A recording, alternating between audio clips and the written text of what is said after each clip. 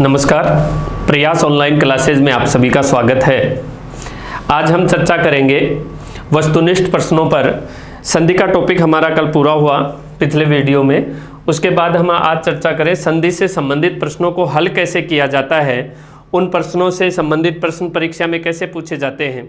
देखो, ये प्रश्न डालने का, इनका वीडियो डालने का मोटिव एक ही है कि आपके मन में कहीं भी कोई हताशा नहीं आए।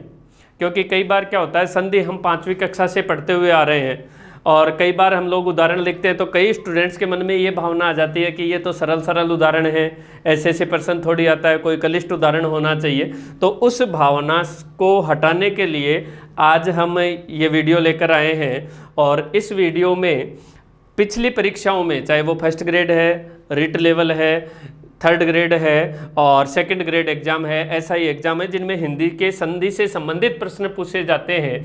उन प्रश्नों पर चर्चा करेंगे और साथ साथ ये भी चर्चा करेंगे कि उन प्रश्नों को हमें हल कैसे करना चाहिए। कई बार हम जल्दबाजी करते हैं, गलतियाँ कर देते हैं। तो देखो, पहला प्रश्न अपने पास आता है वृक्ष छाया का संधि विच्छेद क्या होगा? ये प्रश्न पूछा था आरटेट 2000 ग्यारह की परीक्षा में सेकेंड लेवल में प्रश्न आया था वृक्ष छाया। अब मैंने आपको संधि के नियम में बता रखा है कि छह वर्ण से ठीक पहले अगर छह वर्ण लिखा हुआ है तो वहाँ नियम कौन सा काम करेगा? एक नियम हमने लिखा था, स्वर के बाद यदि छह वर्ण लिखा हुआ है प्लस से पहले कोई स्वर है, प्लस के बाद छह वर्ण लिखा हुआ है तो वहाँ प्लस के निशान के स्थान पर चय वर्ण का आगमन हो जाता है। ये नियम वन लाइन नियम था, और ये आपको मैंने बताया था कि व्यंजन संधि के सारे नियम अपन अच्छे तरीके से याद कर लें, पूरा शब्द उसी से आ जाएगा। अब यहाँ पर देखें, देखो, पहला शब्द आया सारे शब्द छांट कर निकालें तो पहला शब्द आया। पहला शब्द अगर हम देखें तो वृक्ष है जोड़ छाया। यहाँ पर तो विसर्ग आ गया। अब विसर्ग के बाद छह वर्ण आता है तो विसर्ग से में बदलता है। अब स में बदल रहा है स यहाँ पर लिखा हुआ नहीं है, इसलिए ये ऑप्शन बिल्कुल गलत हो गया। इसी प्रकार विसर्ग के साथ छाया लिखा हुआ है ये ऑप्शन भी गलत हो गया। ये ऑप्शन अगर आप करते हो तो केवल संयोग होगा, संधि होगी ही नहीं। ठीक है? और वृक्ष शब्द का कोई अर्थ भी नहीं होता। यहाँ पर हम देखें, वृक्ष जोड़ छाया। तो वृक्ष शब्द लिखा हुआ है। वृक्ष में अंत में क्या है? ए, प्लस के बाद क्या है? छा। ठीक है। ऐश्वर है छह वर्ण आ गया तो प्लस के स्थान पर चय लगाएँगे और शब्द बन जाएगा वृक्ष छाया। तो अपना उत्तर क्या होगा? वृक्ष जोड़ छाया। वृक्ष जोड़ छाया सही माना जाएगा। बाकी तीनों ऑप्शन अपने के यहाँ पर क्या है? गलत माने जाएँगे। अगले प्रश्न पर हम चर्चा करें। तो अगला प्रश्न आया, महाजोड़ उदय। से बना शब्द है। ये भी आर टेट 2011 की परीक्षा में पूछा गया प्रश्न है लेवल सेकंड में। महाजोड़ उदय। तो यहाँ पर देखो, प्लस से पहले क्या है? आ। प्लस के बाद क्या है? उ। क्या बनेगा? आ और उ जुड़ता है तो क्या बनता है? ओ बनता है। तो महा का क्या हो जाएगा? महो उ का लोप हुआ और दय शेष बचा। तो पहला ऑप्शन आया अपने पास महोदय। महोदय शब्द ही इसका शुद्ध शब्द माना जाएगा। महोदय महोदय महोदय गलत माना जाता है। अब इसी शब्द से एक प्रश्न और बना सकते हैं अपन। यहाँ पर अपने को संधि युक्त पद पूछ लिया। अगर पूछ लेता महाजोड़ उदय में कौन सी संधि है या महाजोड़ महोदय शब्द में कौन सी संधि है तो आ, आ के बाद उ आ रहा है इसलिए संधि कौन सी आदेश हो जाएगी? गुण संधि आदेश हो जाएगी। अगले प्रश्न पर चलें। तो अगला प्रश्न है, अपना सद्भावना शब्द का संधि विच्छेद होगा। सद्भावना शब्द में संधि विच्छेद है तो यहाँ पर सद्भावना सहजोड़ भावना करे तो शब्द बन ही नहीं रहा, गलत हो गया। सह जोड़ दभावना करें तो दभावना कोई शब्द नहीं होता, ये ऑप्शन भी गलत हो गया। अब देखिए सद जोड़ भावना सद जोड़ भावना भी बनेगा क्या? सद्भावना। और सत जोड़ भावना भी क्या बनेगा? सद्भावना। तीसरे वर्ण का नियम यहाँ काम करता है। प्रथम वर्ण के बाद तीसरा, चौथा वर्ण तो ये चौथा वर्ण हो गया, ये प्रथम वर्ण हो गया तो प्रथम वर्ण अपने वर्ग के तीसरे वर्ण में बदलेगा, तय का तीसरा वर्ण दय हो गया, सद्भावना। अब दो ऑप्शन से अपने सद्भावना बन रहा है। हम कौन सा करें जो सही होगा? तो ध्यान रखना, हमने चर्चा करी थी उत, उद। तत्, तद। मृत, मृद। इन तीन शब्दों के ऊपर तो विद्वान एक मत नहीं है। कुछ विद्वान तय वाले विकल्प को सही मानते हैं, कुछ विद्वान दय वाले विकल्प को सही मानते हैं। लेकिन ये शब्द जो बनते हैं, वो संस्कृत के शब्द बनते हैं, जो तत्सम श्रेणी में आते हैं। और संस्कृत के तत्सम शब्द बनेंगे तो संस्कृत का उपसर्ग ही शुद्ध माना जाता है। लेकिन हिंदी वाले विद्वान कहते हैं, नहीं साहब, उद नहीं, उत मानना चाहिए। अभी तक दोनों की एक राय नहीं हुई है तो अपने पास उत ऑप्शन आए तो उत सही कर देंगे, उद आए तो उद सही कर देंगे। लेकिन समस्या कहाँ होगी? जब दोनों ऑप्शन आ जाए तो कौन सा सही करें? तो इन तीन शब्दों में तो दय वाला ऑप्शन शुद्ध माना जाएगा। दोनों में से एक का चयन करना हो तो। अकेले का चयन करेंगे तो कोई सा भी कर सकते हैं इसमें से, लेकिन दोनों विकल्प के रूप में आ जाए तो वहाँ पर इन तीन शब्दों में दय वाले को प्रथम वरीयता दी जाएगी। शेष शब्दों में तय वाले को वरीयता दी जाती है। जैसे सत्य शब्द शुद्ध माना जाता है संस्कृत में, सद नहीं माना जाता। ठीक है, ये सत्य एक अव्यय शब्द या संस्कृत के अन्य उपसर्गों में शामिल किया जाता है तो यहाँ सत जोड़ भावना वाला शुद्ध होगा, सद जोड़ भावना वाला शुद्ध नहीं होगा, उत्तर नंबर चार इसमें सही माना गया था। चलें आगे। अगला प्रश्न है, व्यवस्था शब्द में संधि है तो व्यवस्था शब्द, ये भी आर्टेट 2012 में प्रश्न पूछा गया था सेकंड लेवल में। व्यवस्था शब्द में कौन सी संधि है? आपको पूर्णतः नियम बताया हुआ है कि किसी भी शब्द में यह व और रे वर्ण से ठीक पहले आधा व्यंजन वर्ण लिखा हुआ हो तो वह शब्द प्रायः यण संधि से युक्त माना जाता है। यहाँ यह वर्ण से ठीक पहले आधा व्यय लिखा हुआ है, इसलिए संधि कौन सी होगी? यण स्वर संधि यहाँ पर मानी जाएगी और यही प्रश्न सही हो जाएगा। अब इसी प्रश्न से एक प्रश्न और बना सकते हैं अपन, कि व्यवस्था शब्द का संधि विच्छेद क्या होगा? तो वी जोड़ अवस्था इसका क्या हो जाएगा? संधि विच्छेद हो जाएगा। संधि विच्छेद से प्रश्न पूछ लेता तो वी जोड़ अवस्था हो गया। संधि यण हो गई। एक प्रश्न और बन सकता है कि व्यवस्था शब्द में उपसर्ग कितने हैं? व्यवस्था शब्द में उपसर्ग कितने हैं? तो उपसर्ग जब अपने को निकालना होता है, तब वहाँ पर तब तक उस शब्द के टुकड़े करना चाहिए, जब तक कि मूल शब्द बाहर नहीं निकल जाए। तो वी एक निकल गया, अवस्था अलग हो गया, ये तो संधि का काम यहाँ पर तो कंप्लीट हो गया। लेकिन अवस्था शब्द जो देखते हैं अपन, ये भी अवजोड़ स्था मूल शब्द यहाँ पर स्था है। ठीक है अब उपसर्ग, वी उपसर्ग तो कुल उपसर्गों की संख्या कितनी हो गई? दो हो गई। ठीक है, कई बार प्रश्न पूछ लेते हैं कि व्यवस्था शब्द में मूल शब्द और उपसर्ग को अलग अलग कीजिए तो वहाँ वी, अव और मूल शब्द क्या हो जाएगा?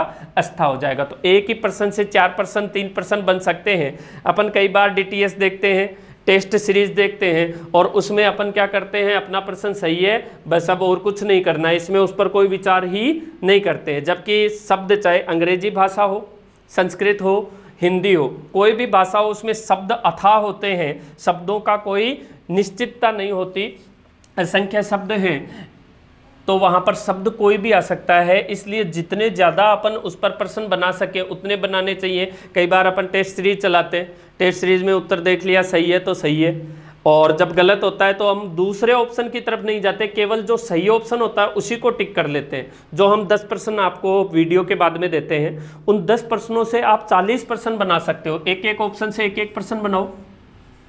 ठीक है साहब, व्यवस्था में ये पूछता तो ये हो जाता, ये पूछता तो ये हो जाता, ये पूछता तो ये हो जाता। तो दस से ही आपके कितने प्रश्न बन गए? चालीस। और इस रूप में जब आप प्रश्न बनाने लग जाओगे तो कोई एग्ज़ाम ऐसी शेष नहीं रहेगी जो जिसमें आपके बनाए हुए प्रश्न नहीं आते। अगले प्रश्न पर चर्चा करें। तो अगला प्रश्न है, पुरोधा शब्द में संधि है। पुरोधा शब्द में संधि है। पुरोधा शब्द। अब यहाँ पर देखो, कई वीडियो हम देखते हैं कि पाँच मिनट में संधि सीखें। पाँच मिनट में संधि सीखें और वो कहते हैं, ए, ओ आर आ जाए किसी शब्द में तो आँख बंद करके गुण संधि कर दो। यहाँ कर दो, आँख बंद करके गुण संधि गलत हो जाओगे। ओ आ रहा है। लेकिन पुर जोड़ धा। पुर जोड़ धा से ये शब्द नहीं बना, ये शब्द तो विसर्ग से बना है। पुर है जोड़ धा।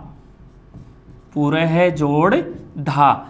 विसर्ग उ में बदलकर ओ आदेश करेगा और पुरोधा बनेगा। उत्व विसर्ग संधि मानी जाएगी। और पुरोधा का अर्थ होता है अग्रणी।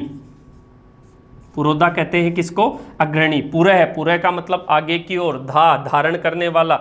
जो आगे की ओर का की व्यवस्था धारण करता है, उसे ही क्या कहा जाता है? पुरोधा कहा जाता है। ठीक है, आगे वाला प्रश्न देखें।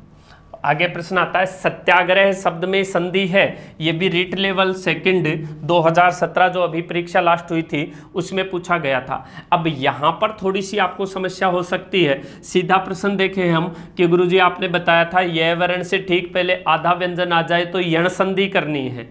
तो यण संधि करेंगे तो तय को पूरा करेंगे, सती बनेगा, ये का ई हो गया और शेष क्या बच गया?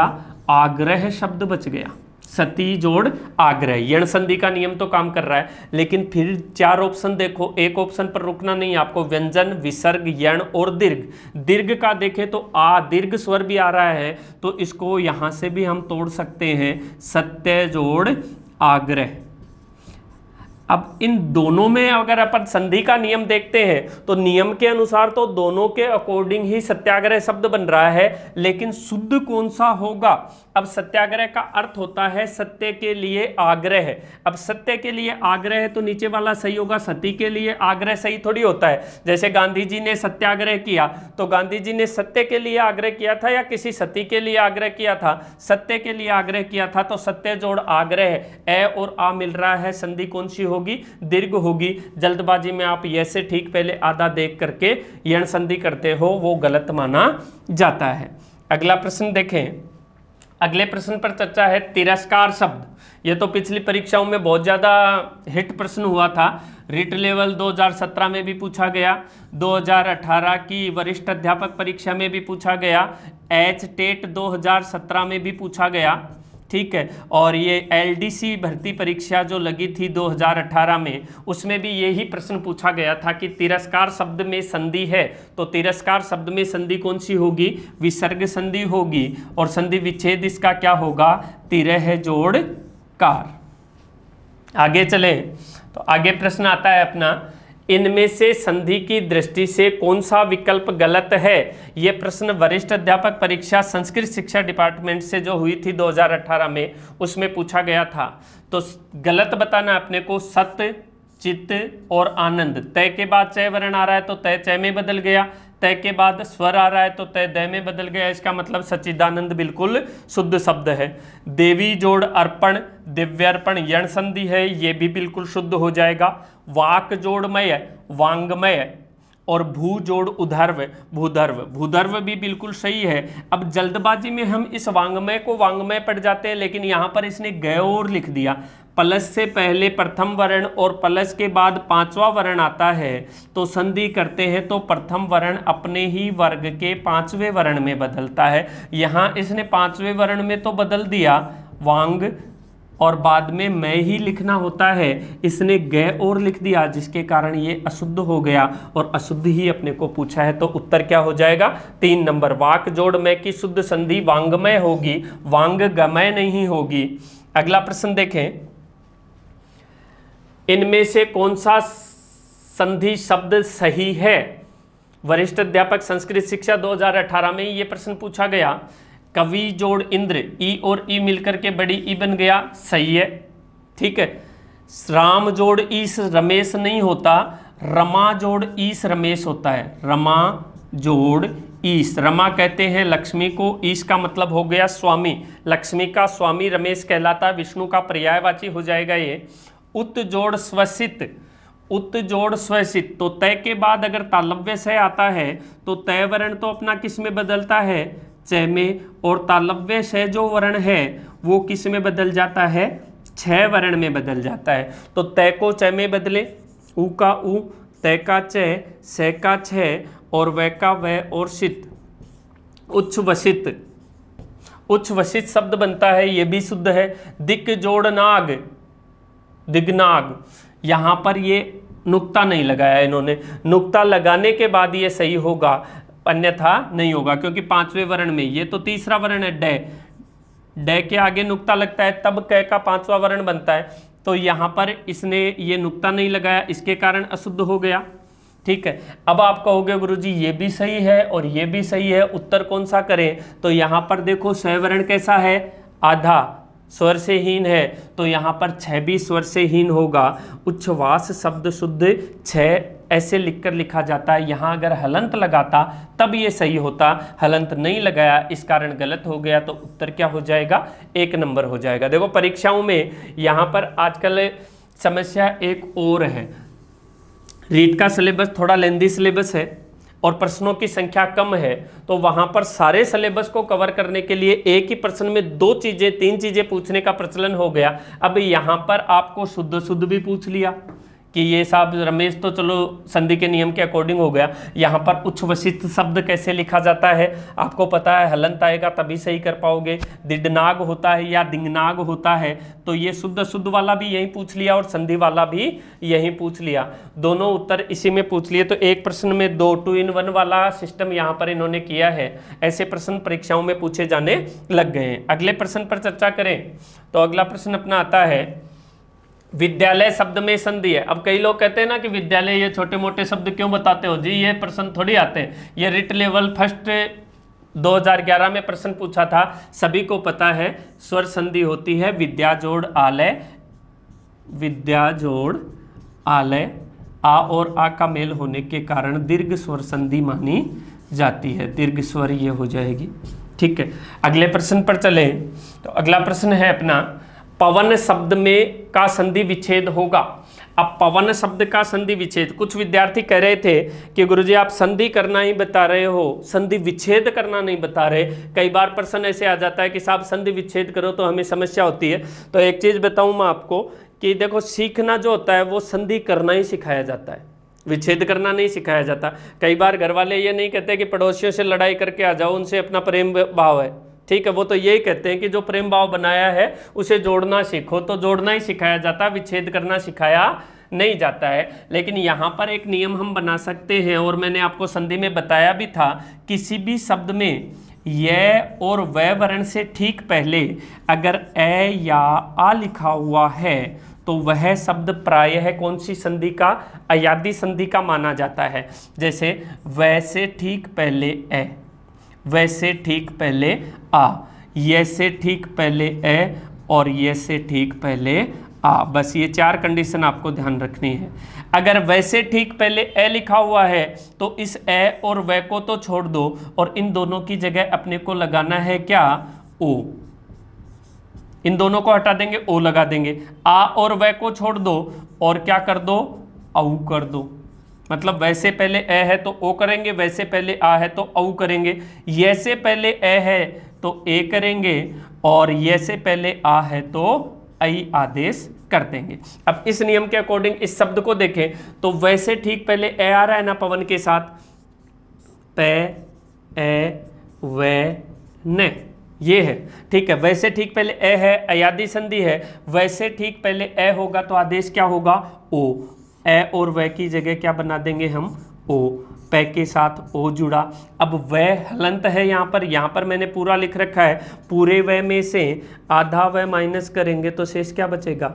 ए तो ए और न। ठीक है। पो। पै के ओ की मात्रा लग गई। क्या बन गया? पो। और प्लस के बाद वह को छोड़ दो। अन बाद में लिख दो। अन ये नियम बन गया, पो, जोड़, अन। अब ये विकल्प देख लो, कौन से विकल्प में, तीन नंबर विकल्प में है तो पो, जोड़, अन, पवन की संधि विच्छेद हो जाएगी। ध्यान रखना, ये से ठीक पहले ए ए की मात्रा लगाएँगे, वैसे ठीक पहले ए, ओ की मात्रा लगाएँगे। तो वैसे ठीक पहले ए है, ओ की मात्रा लगा दी, ए और वह को छोड़ दिया, ए शेष बचा एन ए बाद में लिख देंगे और इसके ओ की मात्रा लगाकर प्लस से पहले लिख देंगे। आगे वाले प्रश्न पर चले। उच्चारण शब्द का संधि विच्छेद है। रिट लेवल फ़र्स्ट 2011 में यह प्रश्न पूछा गया। तो उच्च जोड़ चारण नहीं हो सकता। उच्च जोड़ चारण संयोग हो जाएगा, ऐसे करेंगे तो। उच्चा जोड़ रण का भी कोई भाव नहीं आता। यहाँ जोड़ चारण सही माना जाएगा। अब उत्त जोड़ चारण सही मान रहे हैं। आप कहोगे कि दो, आपने तो बताया था उद मानना है। तो यहाँ क्या करें? तो यहाँ मैंने बताया कि उद अगर ऑप्शन हो तब दोनों में से उद का चयन करेंगे। अब अकेला उद ही, उत ही दे रखा है तो वहाँ पर किसी दूसरे की तरफ़ नहीं जाकर के उत का चयन हम करेंगे। ये तीनों गलत हैं। और ये उत वाला सही हो जाता है। कई बार हम देखते हैं कि कुछ विद्वान हमें ये भी बताते हैं कि उत ही सही होता है, उद नहीं होता है हिंदी में उत को स्वीकार कर लिया। लेकिन वो किस कंडीशन तक होता है? जब तक उद ऑप्शन में नहीं होता, तब तक तो उत को सही कर सकते हैं। लेकिन उद अगर ऑप्शन में आ गया तो पहली वरीयता उद को दी जाती है। तो यहाँ पर उत जोड़ चारण शब्द सही होगा। अगला प्रश्न देखें। किस शब्द में गुण संधि है? गुण संधि कहाँ कहाँ मान सकते हैं? जिस शब्द में ए का प्रयोग हो, जिस शब्द में ओ का प्रयोग हो, जिस शब्द में अर का प्रयोग हो, वहाँ पर आयकर गुण संधि मानी जाती है। तो सिंधूर्मी, कोई आ रहा है इनमें से? नहीं आ रहा। भारतेंदु, आ रहा है क्या? ए। नारीश्वर नहीं आ रहा। लोकेशणा, यहाँ पर लो, ओ आ रहा है, लेकिन शब्द के शुरुआत में आ रहा है, इसलिए ये भी नहीं मान्य होगा। भारतेंदु शब्द, भारत जोड़ इंदु। भारत का चंद्रमा, भारतेंदु हरिश्चंद्र को कहा जाता है। सिंधु जोड़ उर्मी, सिंधु जोड़ उर्मी। ठीक है, इसी प्रकार शब्द आ जाए, नारी जोड़ ईश्वर तो नारी जोड़ ईश्वर। लोक जोड़ ऐश्वर्य। लोक जोड़ ऐश्वर्य। ठीक है, अगर इन शब्दों के संधि विच्छेद कर ले तो सारों की संधि विच्छेद भी हमने कर ली। पूछा, गुण संधि कौन से में तो यहाँ उ उ मिल रहा है तो दीर्घ स्वर होगी। ठीक है, यहाँ ए ई मिल रहा है, गुण हो जाएगी। यहाँ ई के साथ ई मिल रहा है, फिर से दीर्घ हो गई और यहाँ पर ए के साथ आई का मेल हो रहा है तो वर्दी आदेश हो जाती है। ठीक है, चलें अगले प्रश्न की ओर। अगला प्रश्न है, किस विकल्प में गलत संधि विच्छेद है? ये हाल ही में जो परीक्षा हुई, प्राध्यापक परीक्षा, व्याख्याता परीक्षा हुई 2020 में उसके लिए है जीके के फ़र्स्ट पेपर में। चार श्रेणियाँ थी जीके की। जीके की ए श्रेणी में पूछा था, किस विकल्प में गलत संधि विच्छेद है? तो सर्वेक्षण शब्द तो सर्व जोड़ ईक्षण, पूर्ण रूप से शुद्ध है।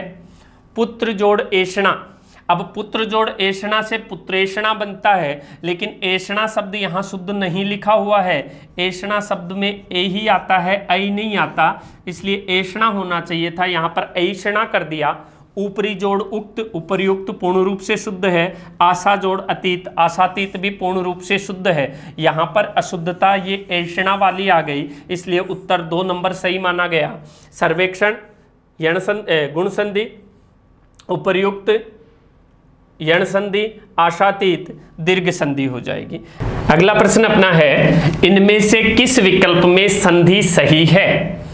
यह प्रश्न पूछा था प्राध्यापक 2020 जीके के दूसरे पार्ट में, ठीक है? तो सही संधि अपने को देखनी है। तो यहाँ पर देखो दिक् जोड़ मंडल। दिक् जोड़ मंडल, दिग्मंडल शब्द नहीं होता। क्योंकि प्लस से पहले प्रथम वर्ण और प्लस के बाद पांचवा वर्ण आता है तो प्रथम वर्ण पाँचवें वर्ण में बदलता है। इसलिए शब्द बनेगा दिंगमंडल। शब्द क्या बनेगा? दिंगमंडल बनेगा। दिग्मंडल नहीं बनेगा। एक जोड़ एक एक एक वृद्धि संधि है। यहाँ पर प्रश्न अपना बिल्कुल सही है। ठीक है? स्त्री जोड़ उचित, स्त्रियोचित नहीं होता। स्त्री जोड़ उचित हो जाएगा, स्त्रियोचित। यण संधि आदेश होगी और शब्द बनेगा स्त्रियोचित। अगला है पितृ जोड़ इच्छा। ये सही है। पितृ जोड़ इच्छा।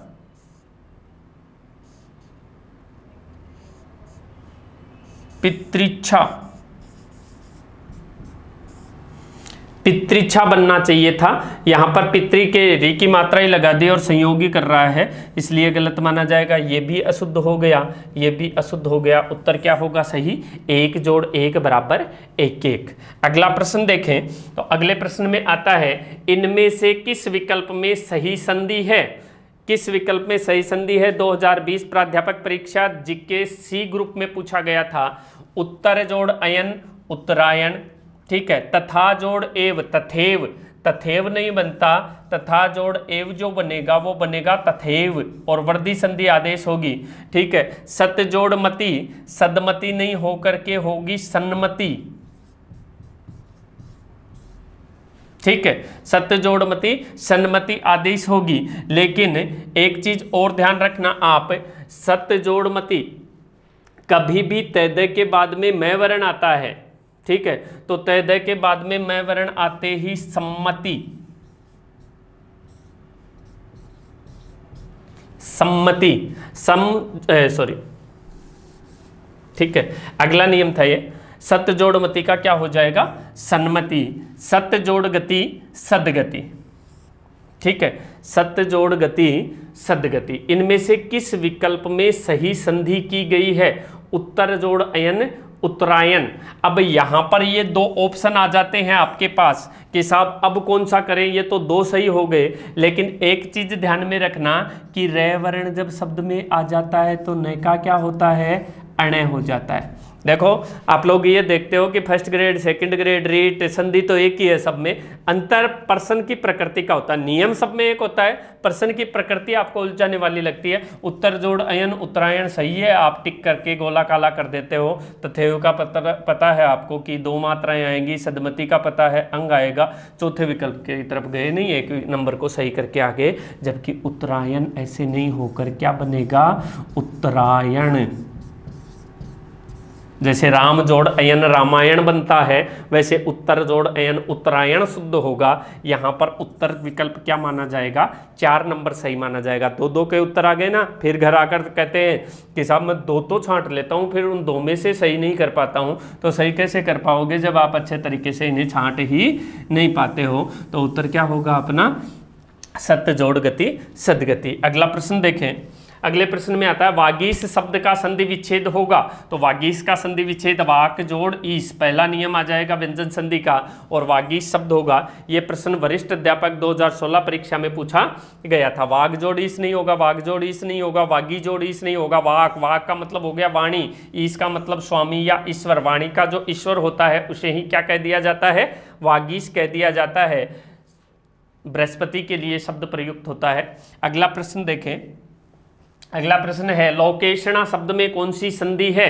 लोकेशणा शब्द में कौन सी स्वर संधि है? वरिष्ठ अध्यापक परीक्षा हाल ही में जो हुई 2018 उसमें पूछा गया था तो लोकेशणा लोकेशणा, दो मात्राएँ आ गई तो कौन सा हो जाएगा? वृद्धि संधि आदेश हो जाएगा, लोक जोड़ एषणा लोक जोड़ एषणा शब्द इसका विच्छेद हो जाएगा। ठीक है, अगले प्रश्न की ओर चले तो अगला प्रश्न है अपना इनमें से किस विकल्प में सही संधि नहीं हुई है? अब देखो, कई बार प्रश्न पढ़ते हैं अपन तो बस किस विकल्प में सही संधि और इस नहीं को खा जाते हैं? पढ़ते नहीं है। और पहला शब्द आपको सही दिखाई देगा, कवि जोड़ ईश्वर। इनमें से किस विकल्प में सही संधि नहीं को नहीं पढ़ा? सीधा यहाँ आ गए कवि जोड़ ईश्वर। पहला ऑप्शन सही दिया, अगले ने इसी को टिक लगा दिया, गोला काला कर दिया। ये जल्दबाजी की निशानी है। प्रश्न पूरा पढ़ो, पूरा प्रश्न है इनमें से किस विकल्प में सही संधि नहीं हुई है? नहीं हुई है, बतानी है, कवि जोड़ ईश्वर तो पूर्ण रूप से सही है, दीर्घ संधि है। समुद्र जोड़ ऊर्मी, यहाँ भी संधि, पूर्ण रूप से सही है गुण स्वर संधि है। मनु जोड़ अंतर, मनवंतर भी सही है यण स्वर संधि हो जाएगी। लेकिन पितृ जोड़ अनुमति, पित्रानुमति नहीं होगा। क्या होगा? पित्रैनुमति शुद्ध माना जाएगा। इसलिए पित्रानुमति न होकर क्या हो जाएगा? पित्रैनुमति शब्द हो जाएगा। इसलिए चार नंबर ऑप्शन यहाँ पर सही माना जाएगा। अगला प्रश्न देखें। निम्न में से किस विकल्प में सही संधि नहीं हुई है? यहाँ पर भी नहीं शब्द। वर्तमान में जो परीक्षाएँ हो रही हैं, उनमें नहीं जोड़ दिया जाता है। आपको थोड़ा सा मिसबिहेव या जल्दबाजी करें और गलती करें। ठीक है? सट जोड़ आनंद षडानन व्यंजन संधि है। सही है। नव जोड़ ऊढ़ा, नवोढ़ा गुणसंधि है, सही है। वर्षा जोड़ ऋतु, वर्षर्तु गुणसंधि है, सही है। लेकिन योगी जोड़ ईस योगेश नहीं होता। योगेश बनता है किससे? योग जोड़ ईस के योग से। योग जोड़ इसके योग से बनेगा क्या? योगेश। इसलिए यहाँ पर यह गलत हुई है। यही पूछा है, कौन सी गलत है? इसलिए चार नंबर उत्तर यहाँ पर हो जाएगा। अगला प्रश्न हम देखें। तो अगले प्रश्न की बात करें तो आता है किस शब्द में संधि नहीं है। उपनिरीक्षक एसआई परीक्षा जो हुई 2016 में एसआई परीक्षा में यह प्रश्न पूछा गया था कि शब्द में संधि सही नहीं है। तो सत्य जोड़ धर्म, सद्धर्म सही है बिल्कुल। सत्य जोड़ नारी, सन्नारी गलत हो गया, क्योंकि तय के बाद पांचवा वर्ण है तो तय या प्रथम वर्ण के साथ पांचवा वर्ण आता है तो प्रथम वर्ण भी अपने ही वर्ग के पाँचवें वर्ण में बदल जाता है। यहाँ पर इसने तीसरे में बदल दिया, इसलिए ये शुद्ध नहीं है। आगे वाले ऑप्शन और देख ले, महाजोड़ उदय महोदय वर्षा जोड़ ऋतु वर्ष ऋतु तो सन्नारी वाला ऑप्शन सही हो जाएगा। शुद्ध शब्द इसका होगा सत जोड़ नारी बराबर सन्नारी। ठीक है? अगला क्वेश्चन देखें। तो अगला प्रश्न अपने पास आता है। इनमें से किस शब्द में संधि सही नहीं है? किस शब्द में संधि सही नहीं है बताना है। संधि है नहीं, ये भी ऐसा ही परीक्षा 2016 में प्रश्न पूछा गया था। अधिजोड़ आदेश, अध्यादेश, यणस्वर संधि हो गई। बिल्कुल सही है। अभिजोड़ आगत, अभ्यागत, ये भी सही है। यण संधि है यहाँ पर। अधिजोड़ अधीन अधिजोड़ अधीन, अध्याधीन नहीं होता।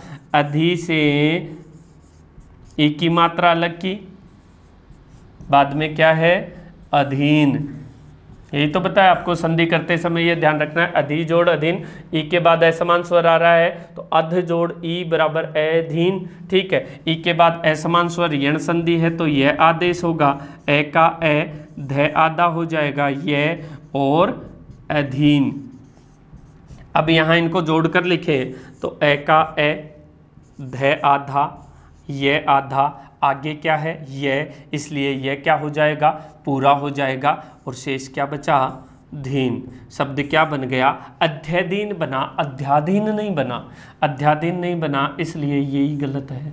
ठीक है? अभी जोड़ अर्थी अभ्यर्थी होता है ये तीन नंबर का प्रश्न यहाँ पर ऑप्शन नंबर तीन सही हो जाएगा। अगला प्रश्न देखें। किस शब्द में संधि गलत है? यह भी उपनिरीक्षक परीक्षा 2016 में पूछा गया था, अतः जोड़ एव अतएव बिल्कुल सही है। मम जोड़ इतर, ममेतर, अक्ष जोड़ उहिनी, अक्षौहिणी, नव जोड़ ऊढ़ा, नवोढ़ा नहीं होता, नवोढ़ा होता है। नवोढ़ा नहीं होता, नवोढ़ा शुद्ध होगा, इसलिए यहाँ पर अशुद्ध विकल्प चार नंबर हो जाएगा। अगले प्रश्न की ओर चले। अगला प्रश्न है किस शब्द का संधि विच्छेद सही नहीं है? तो महाजोड़ आमात्य। महाजोड़ आमात्य क्या बन गया? महामात्य। भयाक्रांत। भय जोड़ आक्रांत हो जाएगा यहाँ पर। ठीक है? स्नेहाविष्ट। स्नेह जोड़ आविष्ट, ये भी सही है। कंटकाकीर्ण। कंटक कहते हैं सेना को। ठीक है? तो कंटकाकीर्ण कंटक जोड़ आकीर्ण, ये भी सही है। लेकिन फिर गलत कौन सा हुआ? यहाँ पर गलत ये है। क्योंकि अमात्य नहीं होता, क्या होता है? अमात्य। अमात्य कहा जाता है मंत्री को। ठीक है? महाअमात्य का मतलब होता है महामंत्री। महा जोड़ अमात्य होगा अमात्य नहीं होगा। इसलिए ये शब्द भी सही हो गया। कई बार पूछ लेते हैं संधि में ऐसे प्रश्न कि संधि भी हो जाए और शुद्ध शुद्ध का ज्ञान भी प्राप्त हो जाए।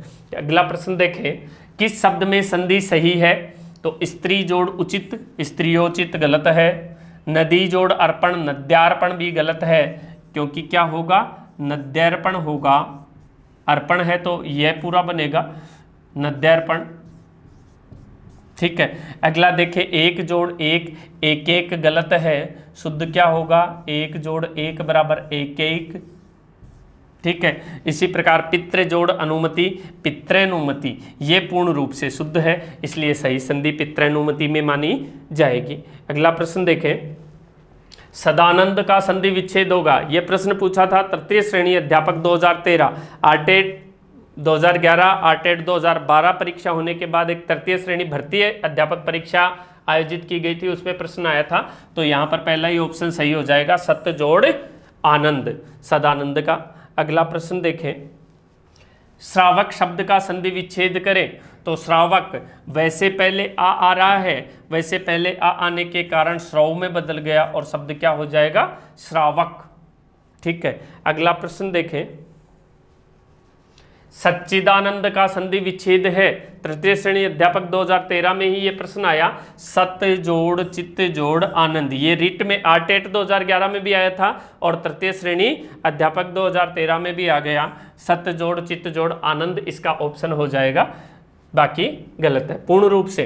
क्योंकि नीचे वाला भी अपने को शुद्ध दिखाई दे रहा है, चिदानंद। लेकिन चिदानंद की भी संधि हो सकती है, चित्त जोड़ आनंद। तो तीन जगह से टुकड़े करने होंगे इसके तो पूर्ण शुद्ध होगा, इसलिए पूर्ण शुद्ध विकल्प ये माना जाएगा। अगला प्रश्न देखें। परिष्कार शब्द का सही संधि विच्छेद है। परिष्कार परि ही जोड़ दानंद सॉरी यहाँ पर ये गलत लिखा गया इनसे, कार लिखा हुआ है। परि ही जोड़ कार परिष्कार, परिजोड़कार परिष्कार, परिजोड़कार और परिसजोड़कार अब यहाँ पर हम, मैंने आपको जब संधि पढ़ाई थी, तब भी बताया था कि शुरुआत में ये प्रश्न आपकी समस्या नहीं करता। ये प्रश्न समस्या कब करता है? जब आता है ऑप्शन में। परिष्कार शब्द का संधि विच्छेद है। आप शुरू में देखोगे, परि ही जोड़कार, दिमाग आ जाएगा, वही ही जोड़कार।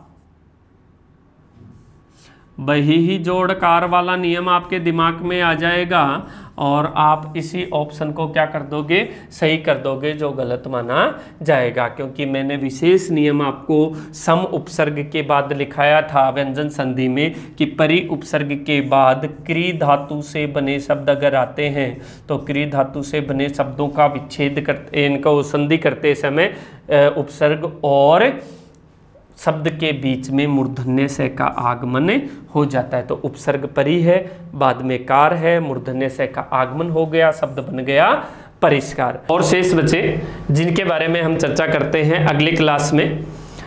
ये प्रश्न सारे के सारे पिछली परीक्षाओं में पूछे हुए हैं। इस रूप में अगर आप प्रश्नों को तैयार करोगे तो पूर्ण विश्वास है कि आप संधि का प्रश्न कभी गलत नहीं कर पाओगे। कुछ एक प्रश्न शेष और रह गए। कुछ मेरी तरफ़ से तैयार किए हुए प्रश्न हैं, उनके बारे में हम चर्चा करेंगे अगली क्लास में। हाँ एक चीज़ और ध्यान रखना। मोस्टली मैं बोलता नहीं हूँ, फिर भी बोल दूँ। अगर आपको क्लास अच्छी लगती है, ठीक है, और श्रेष्ठता आपको क्लास में लगती है तो इसे ज़रूर शेयर करें लाइक करें और कोई भी समस्या हो, संधि से संबंधित कोई समस्या हो तो उसके लिए शेयर कमेंट ज़रूर करें कि साहब हमें ये शब्द नहीं आ रहा, इस शब्द का हमें सही बताइए। लेकिन जितने भी आपके व्हाट्सएप ग्रुप हैं एजुकेशन ग्रुप हैं, उन पर ज़्यादा से ज़्यादा इन्हें शेयर करें, जिससे अधिक से अधिक लोग इसका लाभ ले सकें। धन्यवाद।